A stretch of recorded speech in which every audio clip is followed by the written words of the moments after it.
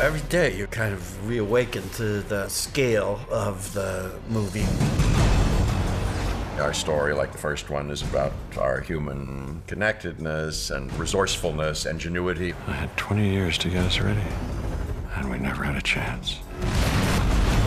Everything is hybrid. Everything is alien, human. The human hybrid fighter jets, which would look like a full jet. Moontug. The Moontug, actually, that, that one very probably impressive. had the most detail out of any of the ships. Someone call Cap.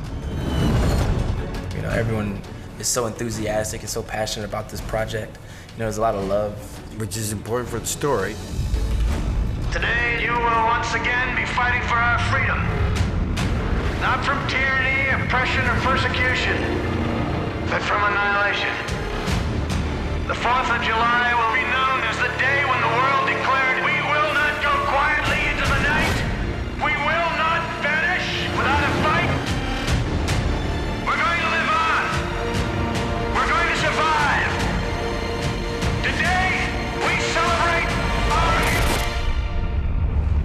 definitely bigger than the last one.